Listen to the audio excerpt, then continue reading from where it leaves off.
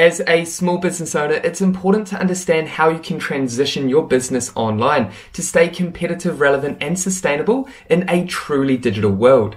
Hey team, I hope you're well. Welcome back and thanks for joining us. Now today I'm excited to share an overview of all the digital tools and strategies that are essential for your small business as you evolve online in 2021. Today I'm going to cover everything you need to know to completely set up, run and grow your small business online in today's ever-changing digital landscape. Now, this video guide will help you understand what you need to know if you're just getting started in business or if you already have a small business and you just need some guidance to help you leverage the right digital tools and strategies. Okay guys, now just quickly before we get stuck into this video, consider subscribing if you haven't done so already, and that way you'll stay updated with actionable small business tutorials and videos designed to help your business thrive online. And with that happy note out the way, let's go ahead and cover what you need to know to set up, run, and grow your small business online in 2021.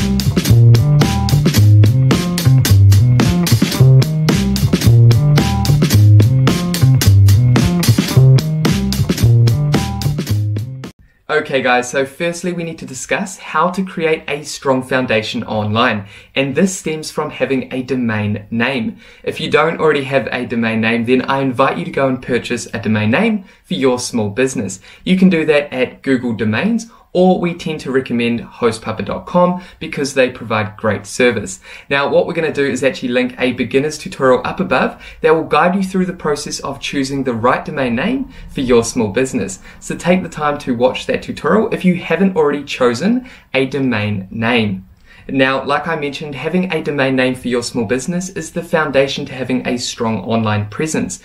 This is because with a domain name, you can then create a website from that domain name, which will ultimately help you build an online presence. Not only this, but you can create emails, professional emails from that domain. And this again adds to the online professionalism of your small business. So like I mentioned guys, it's important to have a strong online brand, a strong online foundation when you're transitioning your small business online. And this stems from having a strong, good, well chosen domain name. So take the time to choose the domain name for your small business. Again, that beginner's tutorial I mentioned earlier, we'll pop that down in our description under resources.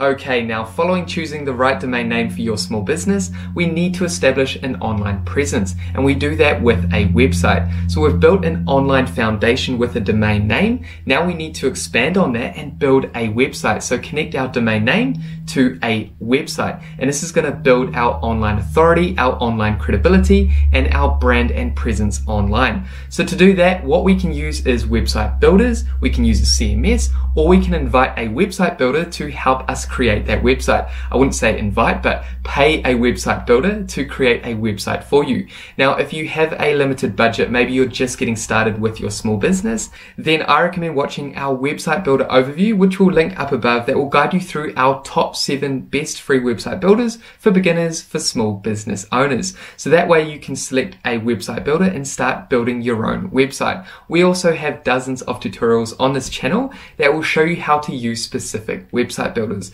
So take the time to build your online presence with a website.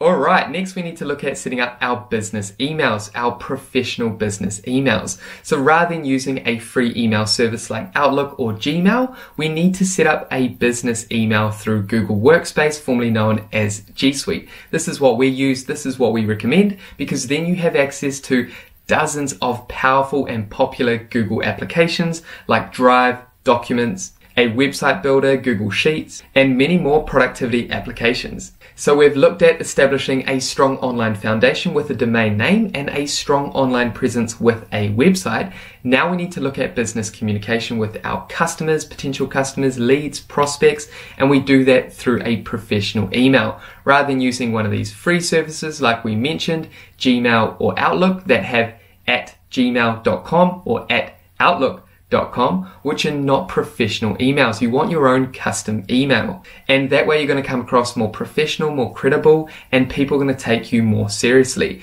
So if you're not too sure where to begin when it comes to setting up your professional business emails, then feel free to watch the tutorial up above, which will guide you through how to get started with Google Workspace and set up your business emails. Next, we need to think about furthering our online presence. Today, we can't just rely on a website for our online presence. We need to actually focus on other platforms and build those up to increase our online exposure. To do that, what we need to do is establish social media platforms. Some of the big ones like Facebook, Instagram, LinkedIn, YouTube. These are different social media platforms that you can use to further enhance your online brand.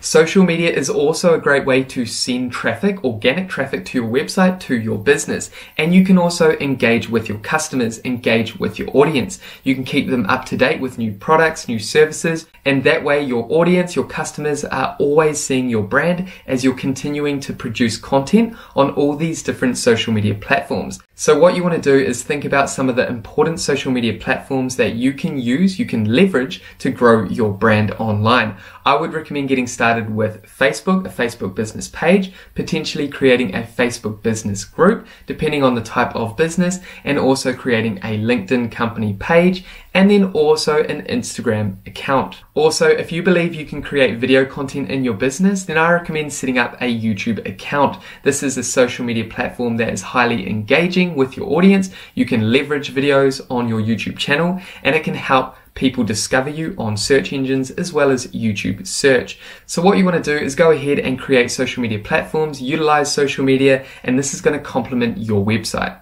Okay, now as a local business, you need to have a Google My Business. This is the next thing we want to discuss when it comes to building your online presence.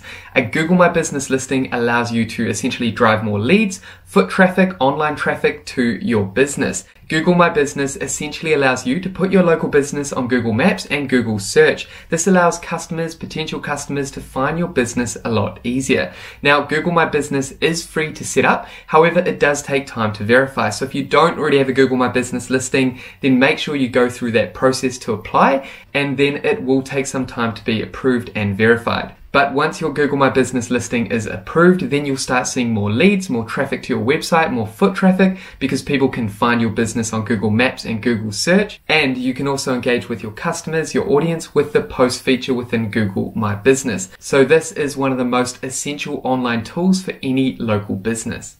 Okay, now following Google My Business as a way to build your online presence for local businesses, we need to discuss other ways to generate traffic, to drive leads, to drive sales, to essentially build your business. And this is all to do with marketing. What we recommend is looking at getting into Google Ads or Facebook Ads. So you can just get started using one of these marketing tools or you can use both. Now, each of these tools are quite sophisticated and it does take time before you're comfortable with using them. So start at a very low budget with each of these marketing tools and see which works for your business. With each of these marketing tools, you can choose different goals. So for example, you can drive leads, you can drive sales, drive phone calls, or you can drive booking forms, so leads via forms. Or for example, with Facebook, you could drive engagement, video views. There's so many different goals that you can set up with your ads with paid advertising, if this is something that you want to get involved in, so Google Ads or Facebook Ads, then what we'll do is add the tutorials down below for both Google Ads and Facebook Ads